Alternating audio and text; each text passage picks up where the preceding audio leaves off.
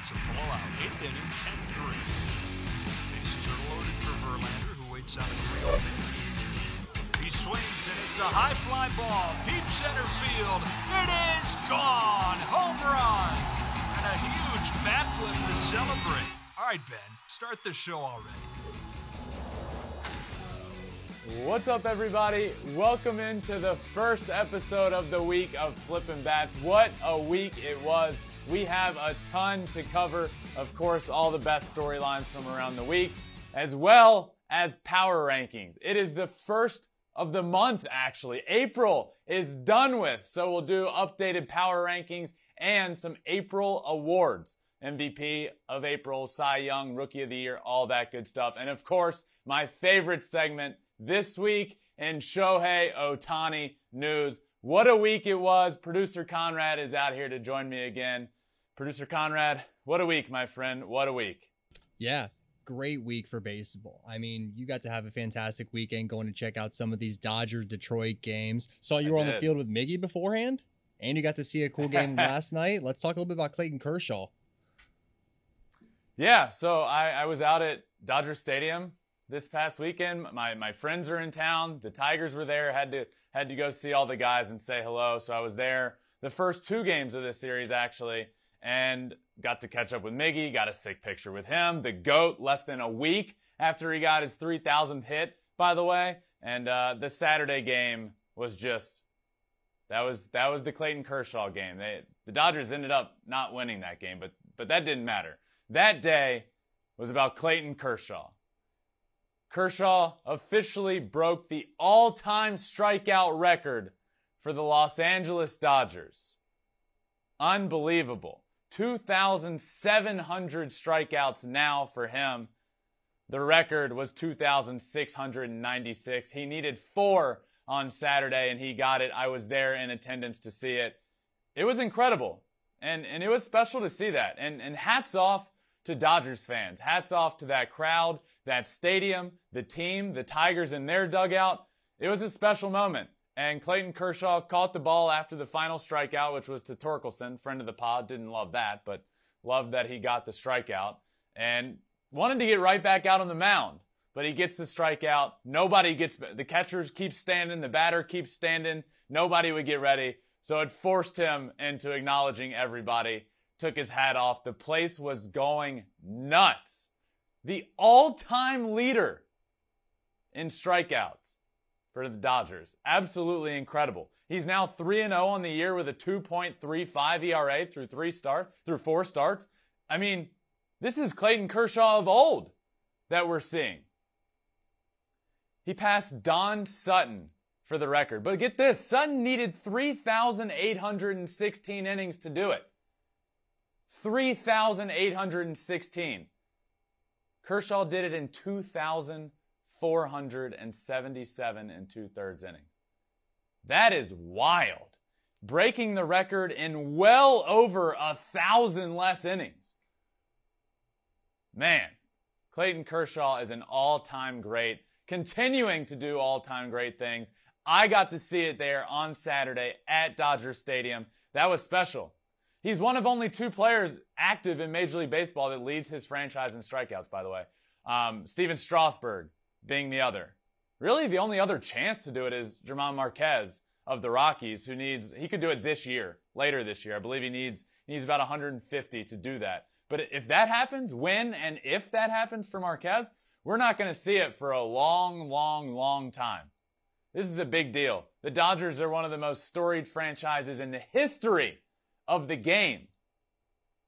And I got to see him break that all time record on Saturday night at Dodger Stadium. Congratulations to Clayton Kershaw. That was absolutely an incredible thing to see. So, congrats to him and the Dodgers and the fan base for the way they reacted. Conrad, that was special, man. Extremely special. I don't I don't know what's cooler though, like the fact that Kershaw broke it in so many less innings, or that Don Sutton threw 3,800 pitches. That's a good thing. You, you know, I, I'm going to take the the innings. The the fact that he did it in 2,477 innings is is remarkable. You hear he breaks the record, and I start to thinking, man, there's been some names around that organization. Don Sutton obviously comes to mind. Sandy Koufax. I mean, the, the organization's been around forever.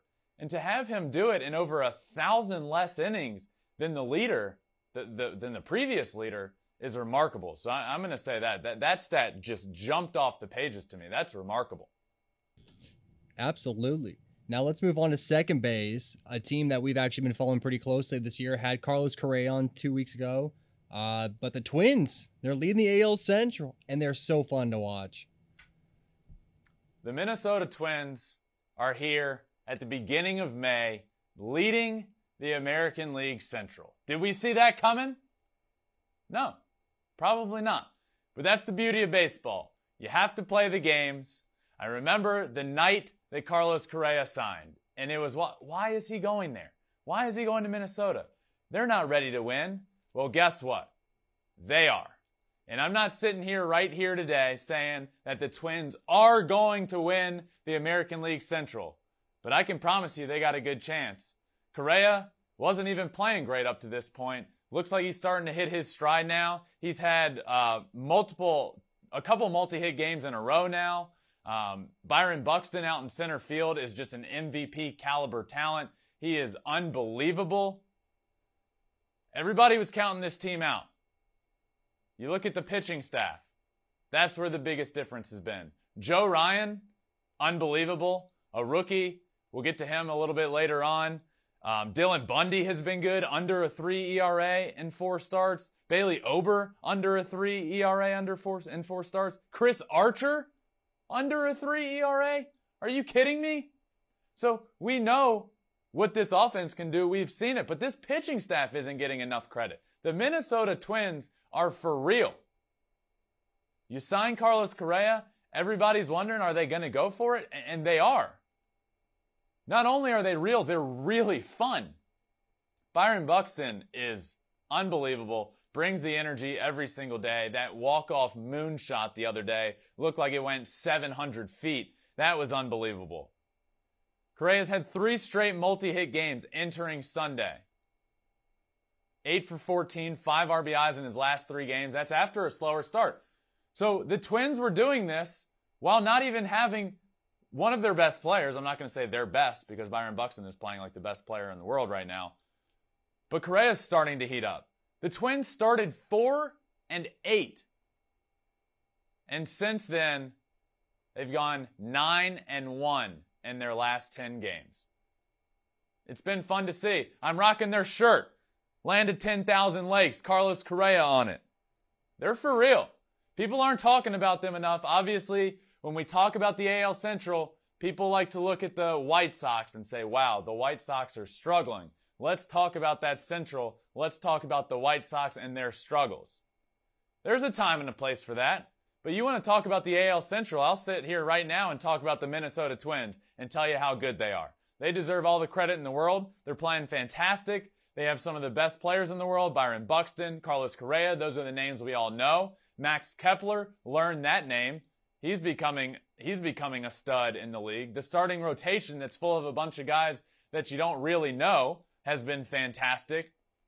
I really like this Minnesota Twins team. They deserve a lot of credit for what they're doing right now in this league, for what they're doing in the AL Central. They have just as good of a chance as the White Sox do at this point of winning that division.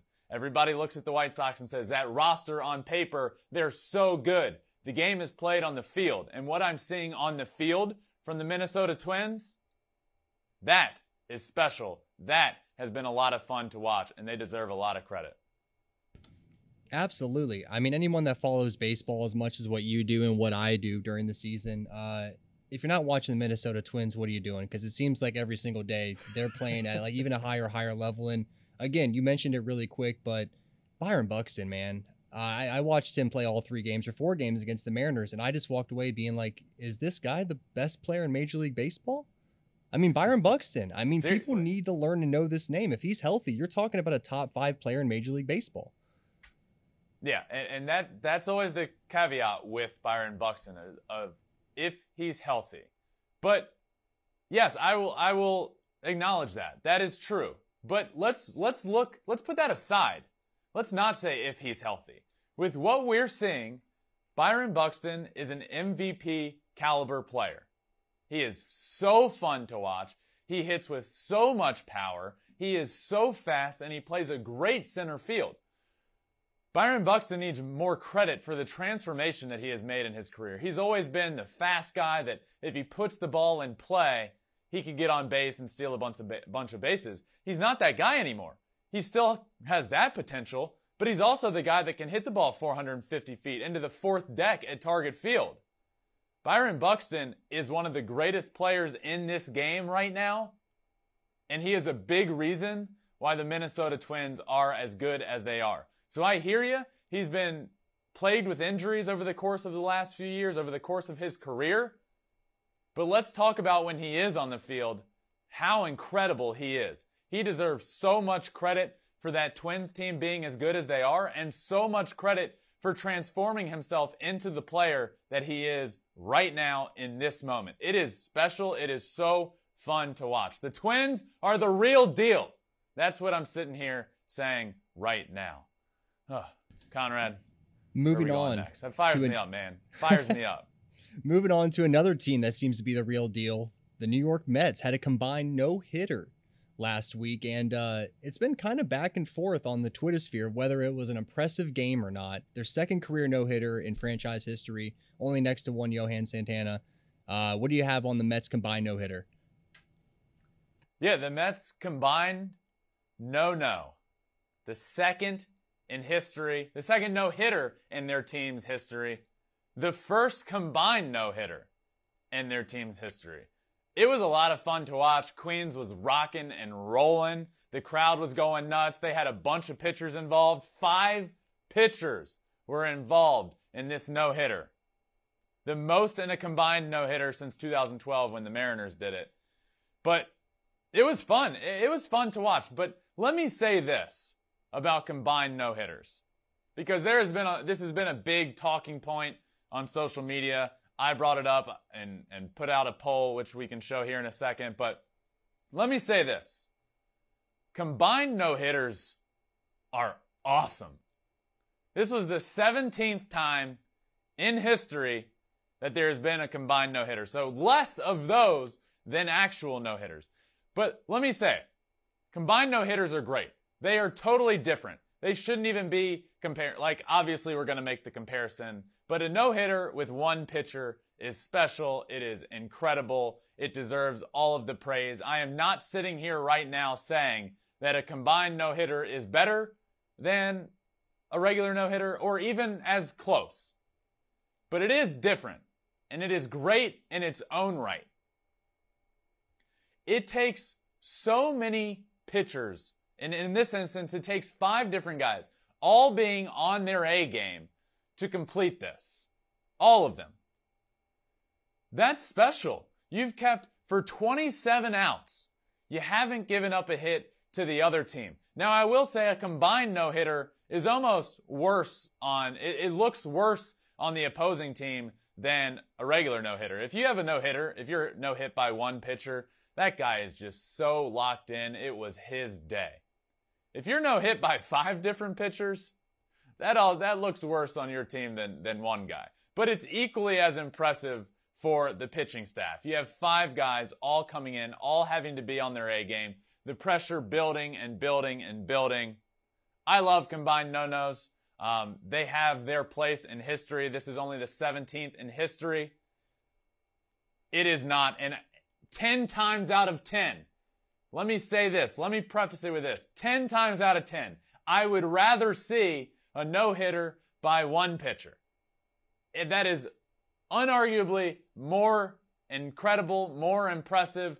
That is the thing that you want to see when you show up to a ballpark. If it starts happening, obviously the momentum builds and it shifts a little bit when that pitcher is pulled.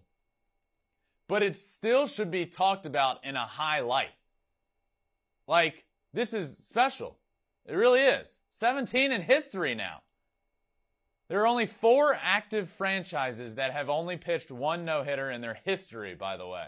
The Mets have moved on from that list. The Rockies, the Padres, the Rays, and the Blue Jays. We can talk about the Mets' first no hitter. There's another time, another place for that. If replay was around at that time, the Mets might be joining this list of one team. But Johan Santana gets it done. He's in the record books as well. Mets combined no no, 17th in history. Producer Conrad, what do you got for me there? I think it's impressive, man. I mean, honestly, before the season started, and somebody said, Ben, one guy from the New York Mets is going to throw a no hitter or a combined no hitter. Who do you think the starting pitcher is going to be? And you're looking at DeGrom, Scherzer, Bassitt. You would have never guessed that it would have been Megill, too. What do you think the odds would have been before the season to guess that he would have been the first no hitter out of all those guys for the Mets? Yeah, I mean, it, he's a part of it. Tylor Megill, when, when you hear, let's say before the season, we were told there's going to be a no hitter or a combined no hitter, what starting pitcher starts the game? I'll give you that. There's no way I would have said Tylor Megill, but turns out it was. He throws the first five innings. He's been fantastic this year. Look, we want to talk about the combined no hitter and talk about how impressive it is, if it's impressive at all, how many times it's been done. Let's talk about Megill and how impressive he has been to start the year. He's been awesome. And now he throws five innings, doesn't give up a hit, Jacob DeGrom goes down to start the year. Who are you going to have to step in? It's been him. Megill has been fantastic. Man, that's, but that's a good point. To start the year, who's it going to be? There's a, the Mets end up throwing a no-hitter, combined or not. Who's it going to be? You, you say DeGrom or you say Scherzer. But it's time Megill's in that conversation. He has no hit stuff. Uh, he gets through five innings of that, but that's a good point there you make, Conrad. Yeah, I was just thinking about it myself. You know, if you have that nasty rotation, and that's the guy to get it done for you. But let's move on over to home plate. We're gonna stay in New York though. The Yankees, nine in a row. Let's talk about it. Let's get let's get it out. Let's air it out. This Yankees team is really good. We are now into May, and the New York Yankees are the best team in Major League Baseball. They started seven and six. The world was ending. And they've rattled off nine in a row. Spare me that it hasn't been against the best teams in the world. I don't care.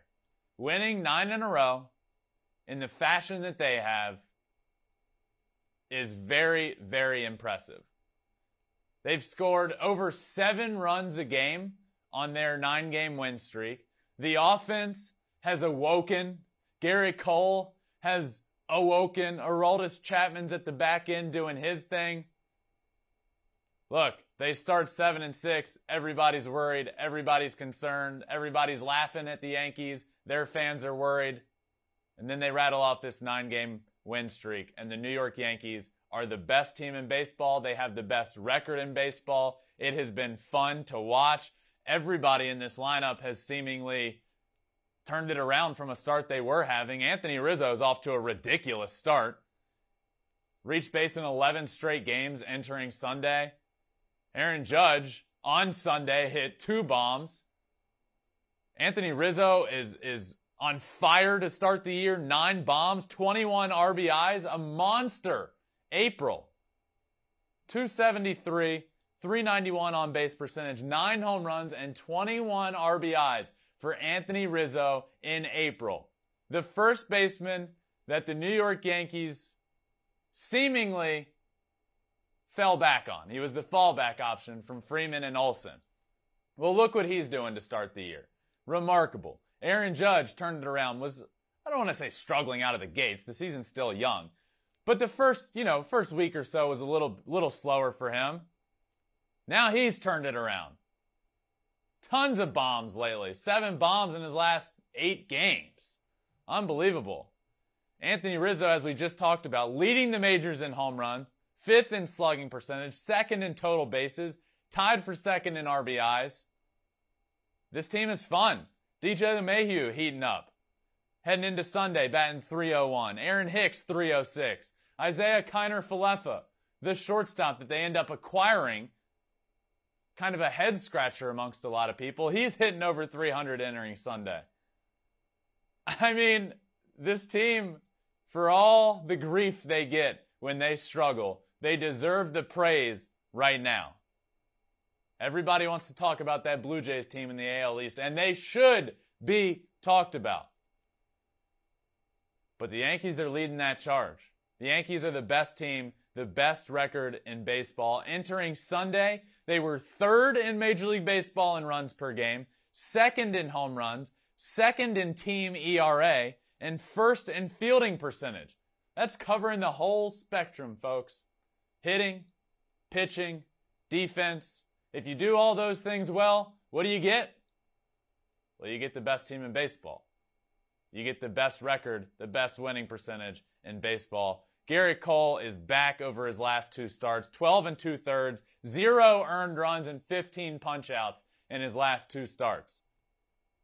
We were talking about how good this Yankees rotation was before Gerrit Cole was even into form. They've been good elsewhere. Everybody else has been picking up the slack. Nasty Nestor, Nestor Cortes, Jordan Montgomery, Severino. Those guys are picking up the slack. Now Gerrit Cole is rolling, and this team is just complete. Offense, defense, pitching. What is going on in New York City with the Yankees and the Mets is incredible. But this Yankees team, they're the tops in Major League Baseball, and that is pretty impressive to see. Yeah, I mean, I think anybody looking at this Yankees team right now and how they're constructed would be like, yeah, this is a pretty good Yankees team, but we didn't know they were going to be this good like this. I mean, me and you were talking a couple weeks ago, and we're just like, I don't know if the Yankees have it. They're just missing something. It's not like they added anybody or added anything. Joey Gallo's still not hitting to his potential. Like, is this Yankees team a legit contending Yankee squad? I mean, we haven't seen a legit contending Yankee squad in a couple years, but these guys seem to have all the pieces and they're on nine game win streak out of nowhere. It's just like, hey, randomly, Yankees won nine straight. It's like, oh, wow, this is impressive. Yeah, look, it's the New York Yankees. We're all used to them getting whatever free agent they want and shelling out all of their money, and that's how they win games by going to get the Freddie Freemans or the Carlos Correa or the Matt Olson, and that didn't happen. So naturally, the question becomes, okay, well, what, what are we going to be? This year? Well, I'll tell you what you're going to be. You're a team that has Aaron Judge, who should be captain, who should be the captain of the New York Yankees. You have Giancarlo Stanton, former MVP. You have Gerrit Cole. I mean, DJ LeMahieu is a perfect fit in that lineup. He's he's a high average guy. Everybody else drives the ball out of the yard. You have Joey Gallo, who obviously struggling, but when he gets when he gets hot, he can be one of the best hitters in baseball. I'm excited. I, I, love watching him when he gets hot. That's what the Yankees are. Okay, so yeah, they didn't go get the big star. They had the pieces already to win. Then you bring in a Josh Donaldson who brings a grit, a fire, a passion, an energy to the team. He was a perfect fit. And then you bring in guys that can help defensively, Kiner Falefa, who's been doing well offensively. So yes, this is a different Yankee. This team is run differently than we've expected. Than the, different than the Yankees that I grew up watching. That would just buy their way to whatever they wanted to get done. Than the late 90s, early 2000 Yankees. This is different. They believed in the team they had on the field. They believed it was capable of winning. They added a couple of pieces, Rizzo, Donaldson, Kiner Falefa, that they believed were the perfect fit to bring it all together. And as of the beginning of May through April, how are you going to argue with it? It's been great. Now they're off and running. The superstars are being superstars. The, the role players are, are doing incredible at it. So yeah, I like what this Yankees team is. They have all the capability of winning. They have the firepower that they need to to win. The sky is the limit for this team. When they're hot, they're really hot. But when the Yankees are cold, they can be really cold. But they have the potential to be just as good. And they, at the end of April, had the best record in all of Major League Baseball. But speaking of the best record, are they the top team on my power rankings? Because they haven't been yet this year, never have been, in fact, since I've started in this industry. And it is now the beginning of May. So let's get to it. Let's get to our top power rankings in Major League Baseball. April is done. It is the beginning of May, and it is time for my top 10 MLB power rankings. Let's start with number 10, the St. Louis Cardinals. The Cardinals, got off to a really good start. Arenado looks to be in MVP like form. Went through a little bit of a scuffle, but ended up having a good last series of the week. Big come from behind win on Sunday, but they look better. They look good this year. They are at number 10 on my rankings. At number 9, the Minnesota Twins. That's right, the Twins are appearing in my power rankings for the first time this season. Who saw this coming? Correa signs there, but Buxton ends up being incredible. Correa starting to play better. Joe Ryan is looking awesome on the mound. Max Kepler looking good in the outfield. The Minnesota Twins are the real deal in the AL Central. They are so much fun to watch. At number nine, I have the Minnesota Twins. At number eight, the San Diego Padres. Manny Machado. Speaking of MVP like form, Manny Machado has been incredible this year. I said it at the beginning of the year. Tatis is down. They need somebody to pick up the slack. You don't think Machado's that guy to pick up the slack because he's already really good. He has gone to another level this year. Manny Machado has been fantastic. This team's been playing good ball. They had a good series against the Dodgers. They ended up losing two of three, but it just shows the top of the top, the cream of the crop that they're playing. They can compete with them. The Padres have looked good all year long. They are at number eight in my power rankings. Number seven, the Milwaukee Brewers. It's that pitching staff for me.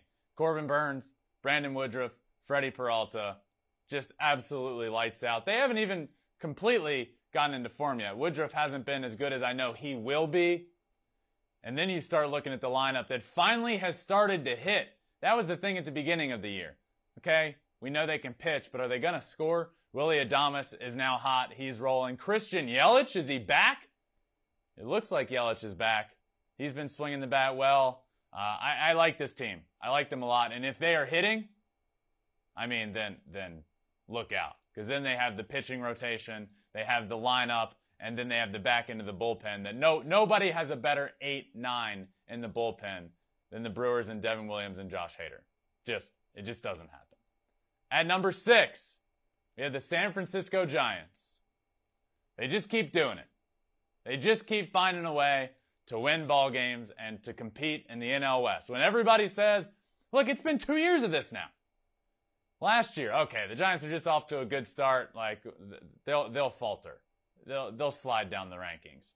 Now this year, okay, well they're just not as good of a team this year. There's no way. Last year was a fluke. They just continue to prove that it is a culture in San Francisco. It is something special they are doing there, and that they are a really good team. And it's time you get on board with it the San Francisco Giants at number six. Number five, the Los Angeles Angels. That's right, the Angels have cracked the power rankings and they have jumped all the way up to number five. Let's look at it. Mike Trout is, is Mike Trout this year. It's been incredible to watch him. Taylor Ward is unbelievable in that lineup. Brandon Marsh has been good. Shohei Ohtani hasn't even gone crazy at the plate yet. You have to believe he'll get a little more consistent and take off at the plate. Anthony Rendon hasn't been great. Walsh hasn't. The lineup has been incredible with a lot of guys not even producing at the best of their ability. But then you look at that starting rotation. I mean, Syndergaard, Bundy, Suarez. I mean, Lorenzen. Are you kidding me? This team is good. This team is really, really good. And the back end of the bullpen, Raisel Iglesias. I, I like this Angels team a lot. They are debuting here on the power rankings and they are jumping all the way up to number five. At number four, I have the Los Angeles Dodgers. Little bit of a bump down. Um, the lineup's just not clicking on all cylinders right now. You got a lot of guys struggling. Uh, I was there at the game on Saturday when they lost to the Detroit Tigers. At this point in the year, the Tigers are struggling you got to be sweeping them. When they're not playing well, when you're at home and you're the Dodgers, you should be sweeping the Tigers. They lost a series to the Diamondbacks. So look, they're still really good. I just bumped them down a little bit in my power rankings. They are at number four. At number three, the Toronto Blue Jays. They haven't lost a series yet this year. They are really good. They are really fun. They have played some very fun, very exciting games against the Houston Astros, who haven't started the year off great, but we all know when all is said and done, the Astros will have their name in the picture. They will be good. And perhaps a future ALCS matchup. The Blue Jays and the Astros. That would be a lot of fun. Blue Jays at number three. At number two, the New York Mets. The Mets have been an elite team to start the year.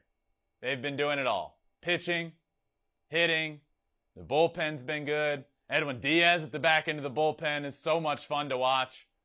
This team is real. The Mets are going to Met no longer. Get it out of your vocabulary. This is a different team. This is a fun team to watch. They do it in all different way, shapes, and forms. The Mets are at number two. Now, let me say this. We are recording on Sunday for our Monday show. The Mets are the last game of the week. Mets, Phillies going on right now. It is Sunday night baseball. So if the Mets end up losing that game, don't be surprised if on my Monday official release on social media of the power rankings, they slide down a spot or a two. But if they win, they will be right here at the number two spot. But number one on my power rankings, I just talked about them, just gave them a bunch of love. The New York Yankees are the best team in baseball. After all the doubt, after all the frustration with a little bit slower of a start, the New York Yankees are rolling. They're doing it all. Judge on another level right now. Rizzo looks incredible. Gerrit Cole is back. 2 0 in his last two starts. No earned runs, 15 punchouts. And he wasn't even the guy that, that was the reason this rotation was so good. The New York Yankees rotation has been great this year, and it's because of the other guys. It's because of the two, three, four in the rotation. Nasty Nestor Cortes has been great. Jordan Montgomery, good. But Gerrit Cole's supposed to be that guy for this rotation, and he's back to being that guy. So you have all your superstars doing superstar like things. Aaron Judge, make him the captain of the Yankees. Gerrit Cole, they're rolling. Nine in a row, nine wins in a row. The New York Yankees have been incredible.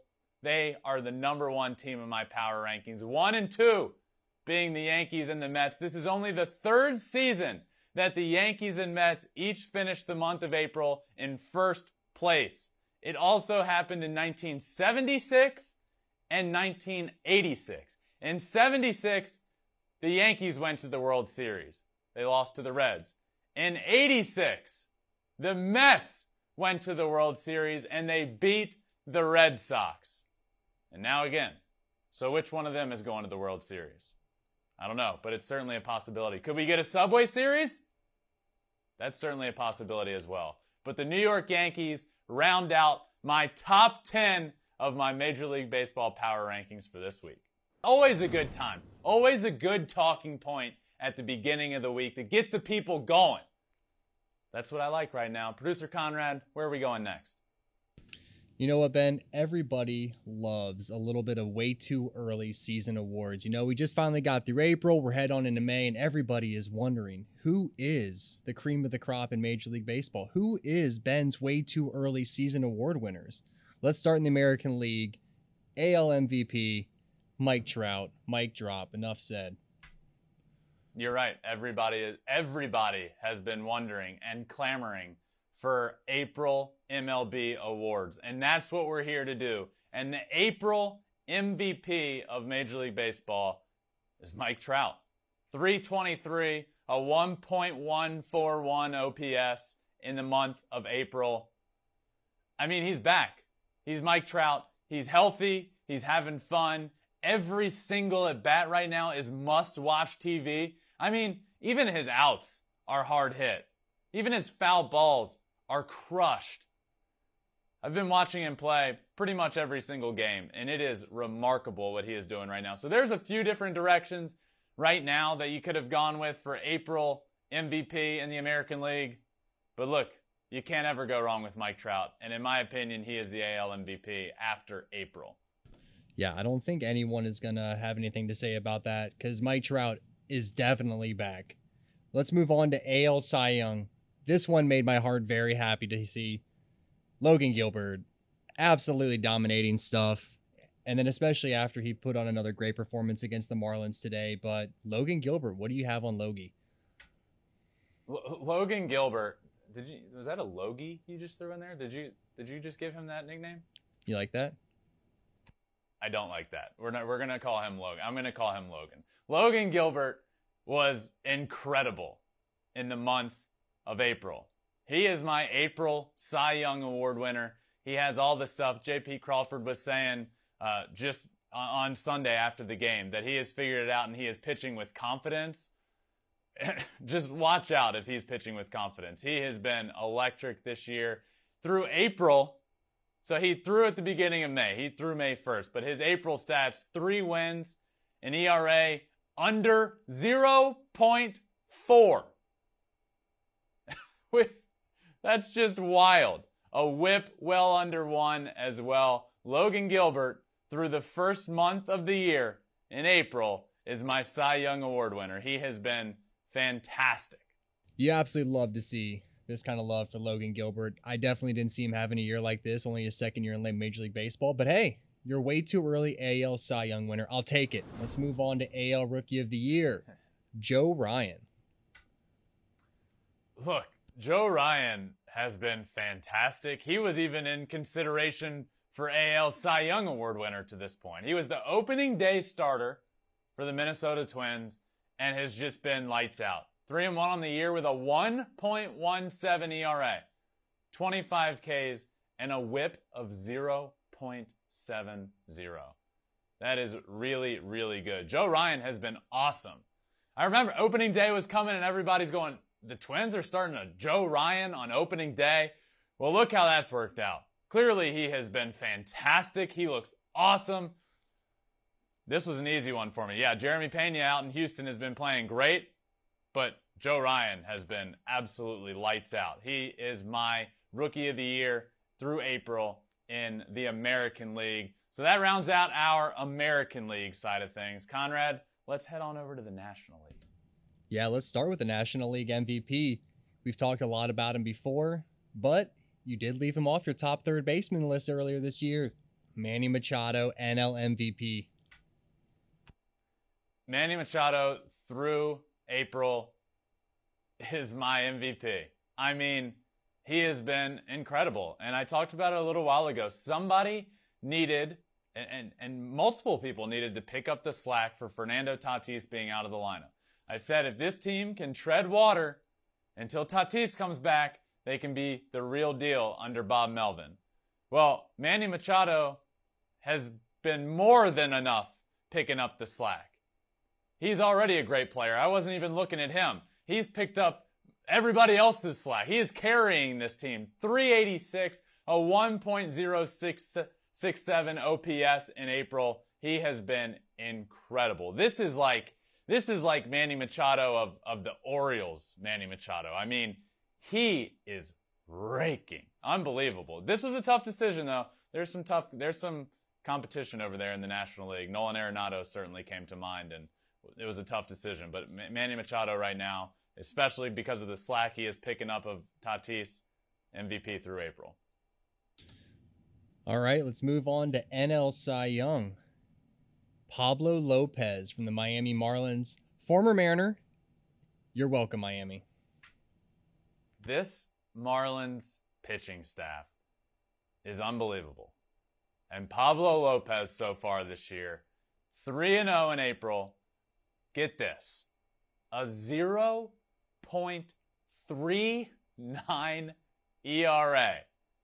Pablo Lopez's 0.39 ERA is the lowest in Marlins history through four starts in a season, surpassing 2004 Dontrelle Willis, Fox guy Dontrelle Willis with his 0.71 and 23 Ks. Are, are you kidding me? 0.39, Pablo Lopez. There is no other answer right now in the National League. There isn't. He's unbelievable. That pitching staff is going to be really good for a really long time. And this wasn't even a name at the start of the year that everybody was talking about. Everyone likes to talk about um, Sergio Alcantara and all the, the other guys. Okay? Edward Cabrera, But Pablo Lopez, oh my God, it's been unbelievable. He is my Cy Young winner so far through April. Last but not least, NL Rookie of the Year, and I think this is a pretty unanimous one. Seiya Suzuki. He's been just absolutely outstanding for the Chicago Cubs.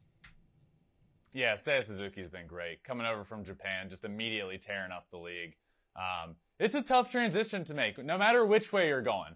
From Japan to Major League Baseball or from Major League Baseball to Japan. It is a tough transition. The pitching is just different. I've had friends do both of them. And, and it's a tough thing to just immediately adjust. He has come over and just immediately adjusted. Four homers, an OPS of .934. He's been incredible. He doesn't swing and miss much. He doesn't strike out a lot. He's doing it all. He's flipping his bat. You know we love that here. The name of our show is Flippin' Bats. So, you know, I love it. Seiya Suzuki, this was the easiest decision of them all. So far, my rookie of the year for the month of April is Seiya Suzuki in the National League. So that rounds out. Look, you all have been waiting. My way too early awards to give away after April. That wraps them up. We will do that. Hey, maybe we'll do it after every month. All right, and now it is time for my favorite segment this week in Shohei Ohtani news. I'm going to talk about how his start the other day was the most impressive start of the year. I'm going to talk about Shohei Ohtani in the batter's box and how he's struggling to find his stride a little bit. How I think Shohei is the most dynamic and versatile hitter in baseball and his speed. It is just always on display. But let's start with that start of his the other day. Last Wednesday, in my opinion, was Shohei Ohtani's most impressive game of the season. Now I hear you. His start on the mound before, just one week prior, he was almost perfect. He had a perfect game going. But last Wednesday was more impressive for me. Why? Shohei didn't have his best stuff on the mound by any means. The first inning was a struggle gives up a homer, gives up two runs. He did not have his good stuff, but he powered through. Goes back, out for that second inning, does not have his best stuff. His fastball command all over the place. His slider wasn't near as good as it was in Houston when he punched out 12 guys, but he found a way to get out of that inning. And with every passing inning, you could see it. He got better and better and better. That is so hard and so impressive to be able to do in the middle of a start when you do not have your A stuff on the mound, not even your B or maybe even C stuff, to figure it out, to pitch through it, and to get your stuff back throughout the outing. On the mound, in my opinion, that was more impressive than when he did have his A stuff. We all know what Shohei Ohtani is capable of doing when he has his A stuff. It's what he did in Houston. He punched out 12 guys. He gave up one hit and he didn't, he didn't give up a run. He was almost perfect. But it's what he was able to do. The way he was able to adjust when he didn't have his best stuff. That was incredible in my opinion. And then at the plate, in the first inning, he doesn't get a hit. Later in the game, he doesn't get a hit. He goes 0 for 2, okay? So at the plate, he's not off to a great start. Two of the exact same things. Two rollovers to the second baseman, almost on the same pitch, looked the exact same. But he made the adjustment at the plate. That third at bat, he gets a very similar pitch and he stays inside of it, rifles a ball up the middle. That was an incredible adjustment. That is not easy to do. Let me tell you, when I used to hit, when I was 0 for 2 at the plate, I typically ended up 0 for 4. Why? Because it's just tough to make in-game adjustments. And when you don't feel good, when you're struggling at the plate, well, it's tough to make that adjustment in game. He did it that third at bat, that fourth at bat, absolutely rifled a double to right field. Just shows you how much he locked in. Ends up getting three hits on the night. So this is why I say it was the most impressive start. I will not say it was his best or most dominant game because I don't think it was. I think his game on Wednesday of last week, of last week was the most impressive start. His ability to adjust is second to none. It was incredible. You see starters all the time that don't have their best stuff. They give up a couple runs, and even if they get out of that inning, they just continue to pitch with not their best stuff, and they don't have a good outing. He figured out how to have a good outing, five innings, two runs, a quality start in the books, with figuring out how to get his best stuff. It was incredible. What a start, an impressive game, and that's what makes Shohei Shohei, in my opinion. Now let's talk about his hitting. He is trying to find his stride to this point. And I will not hear, Shohei, he's been awful at the plate. Well, he hasn't. It's been a little up and down to this point. But look, over the course of the last week, he's he hit 308 last week with a homer and two RBIs. So he's doing at the plate what he was able to do on the mound the other night and make adjustments. He's trying to figure it out. He hasn't quite hit that stride that we know Shohei can, but he's figuring out ways to get through it and adjust when he doesn't have his best stuff, when he's not feeling his best at the plate. But a good week, coming off a good week with another homer, batted 308. I see something at the plate with Shohei, and I, and I saw it in that Sunday game against the White Sox when he came up with the bases loaded and they had just walked Mike Trout. He got a pitch, a curveball, a big loopy curveball that at no point was a strike. At no point. He ended up swinging, grounds out to first base. In my opinion, I think he is pressing a little bit to be even better. Even better than he was last year when he was the unanimous MVP. To be that guy, this team is playing good. Trout is back. Shohei needs to be better than ever. He doesn't need to be. Shohei just needs to be Shohei. That Shohei is good enough. So I think he needs to just relax, let himself be himself, not press about doing too much at the plate. We saw it last week. He was able to hit over 300 on the week. So as much as everybody says, well, what's, what's going on? Nothing. He's working through it on his own. He's figuring out. He's getting his hits. His hits are coming in bunches right now. Yes, he'll have a couple games in a row where he doesn't give a hit, get a hit, but then that next day he'll get three hits. Shohei is fine. It's just going to be about finding that stride for him. He's not in it yet. Finding that consistency that I know he will. And soon enough, he'll be off and running, hitting better, more consistent, but coming off a good, a good week. Average wise, gets a bomb. I love it. He will find his stride soon enough. That leads me into my next point. Shohei was leading off every game to start the year.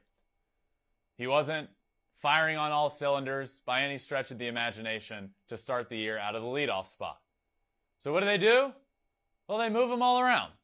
He's now hit second, he's hit third, and the other night when he hit a home run, he was batting cleanup. It is remarkable, and there aren't a lot of players around Major League Baseball that you can feel comfortable batting leadoff, and he's just as fast as any leadoff hitter out there and you can bat him in the cleanup spot, and he can hit with more power than anybody. He is so versatile. And when you hear Shohei Ohtani and you hear dynamic, versatile, you think, yeah, he is pitching and hitting. Yeah, I can talk about that all day long, and I typically do. He's also dynamic just from a hitting perspective. He literally can hit anywhere in a lineup and do that well. He's a, he can be a good leadoff hitter. He can make contact. He can get on base. He can be fast, or he can hit in the four hole and hit bombs and outslug everybody. It has been incredible this year when he's not off to his typical, like, hot, getting a hit every game start to watch him be plugged into a different place in the lineup and to see him produce. It's not easy to do that. It's not. That's often why, you, why you'll see managers hit a player in the same spot all year long. It's not the same. It is difficult hitting in different spots in the lineup. And he's been able to do that and he's been able to do it well. He is obviously the most dynamic player in baseball because he can hit and he can pitch. But offensively, he's also one of the most dynamic players, which leads me to my last point, his speed. A whole nother topic that we don't even talk about as much as we should with Shohei. He is one of the fastest players in Major League Baseball and he has been showing off the wheels so far this year. Gets a stolen base the other night, and I love this. This was great. The White Sox picked over, tried to pick him off what seemed like 10 times in a row. Shohei was even laughing. We're showing the video. If you're watching this via video, you can see it. They picked off so many times in a row. Shohei couldn't help but smiling and laughing. And you know what he did to follow it up? He stole second base. Almost immediately. Steals second base. Ball ends up going out into the outfield. He takes third on that as well, just showing off the wheels. Has four stolen bases already on the year, which is good for top five in the American League. He just does it all. He absolutely does it all. And that is what, that's the whole premise behind this segment. Yes, I love him. I love Shohei. I'm his number one fan. But there's legitimately something that he is doing every single week that is worthy of talking about. If he's not hitting well, he's pitching well. If he's not pitching well, he's hitting well. And if he's not doing any of that, he's stealing a bunch of bags and having fun doing it. But the beauty of this, the beauty of all of it, is he's typically doing it all well at the exact same time. And that's what makes him so special. That's why I love having this segment. And that is it for this week's This Week in Shohei Ohtani News. All right, and to wrap up today's show, a little extra innings segment, something that sticks out to me or means a lot or a little sentimental moment, whatever it may be. Every Monday show, I like to end with a little extra innings segment. And this week's is Ben Joyce of the University of Tennessee throwing the hardest pitch ever in college baseball 105.5 miles an hour the hardest pitch ever recorded, breaking the record. Absolutely mind blowing. And it actually got me to thinking about the all time record, including Major League Baseball, because it had to be close. So what I found was that Aroldis Chapman has the hardest pitch ever thrown at 105.8. Now it originally registered at 105.1, and that's what is in the Guinness Book of World Records. Now, apparently that got changed or updated to 105.8. A little discrepancy there, but whatever it may be, he did officially break the all-time college record,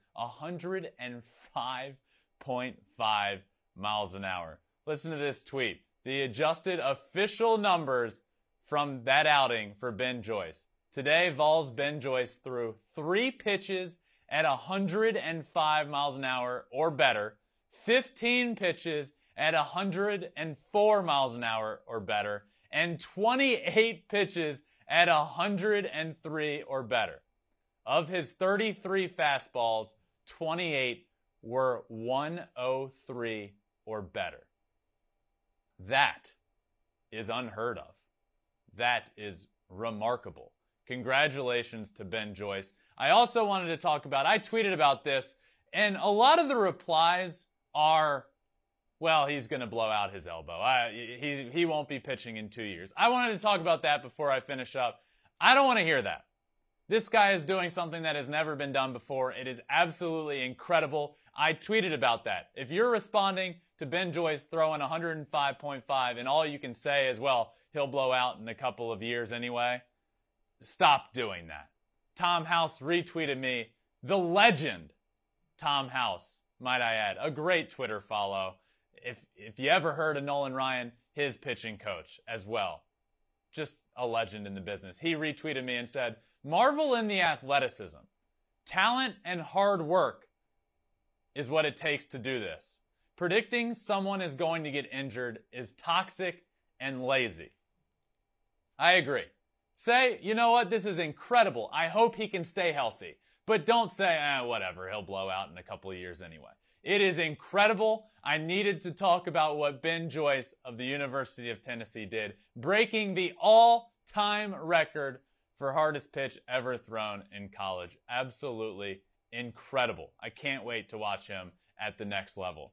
But that does it for this week's episode of Flippin' Bats. This has been a blast. We had a lot to cover. First episode of the week. We will be back on Wednesday with a guest episode, a guest interview.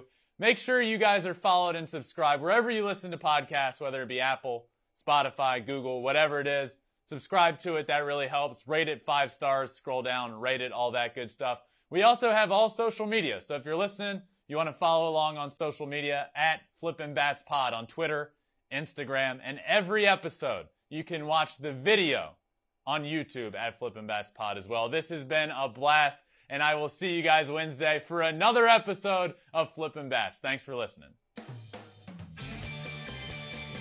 Thanks for watching. If you love flipping bats, swinging 3 0, or just talking ball, join us. Call us at 213 537 9339 with your questions. We have a weekly guest and we have a lot of fun, so hit that subscribe button.